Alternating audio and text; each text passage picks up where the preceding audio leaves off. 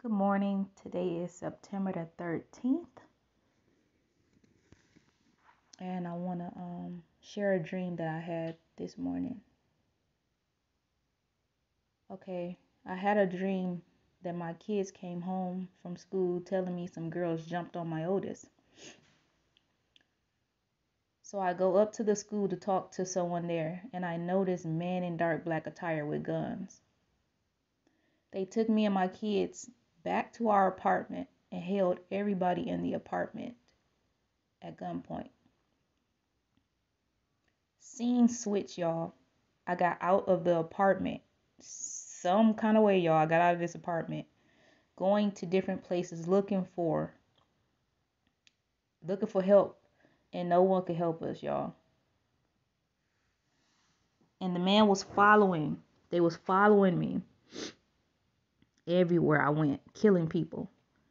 I went inside a security booth with a security guard, y'all, and they came in and they killed him and snatched me out by gunpoint.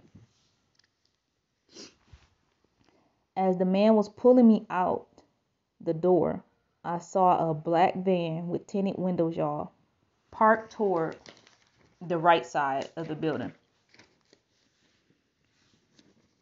The man put me in in the back of the van trying to have relations with me, but I noticed he was licking my stomach. At this point, I said to myself, Okay, Father, I can't kill. So at what point do I get my powers? I heard in the spirit, You already have powers. My eyes lit up like lightning at this point. I grabbed the man's head and struck him as well as the other man in the van with him, killing them. The scene switched. I'm back home in front of our apartment door. I blew the door off the hinges with my eyes, striking as many men as I could when I entered the room. I noticed my four children sitting on a sofa when I blew the door off. Next thing I know, my son starts striking men with powers coming out of his hands that shot out that shot out like a maze.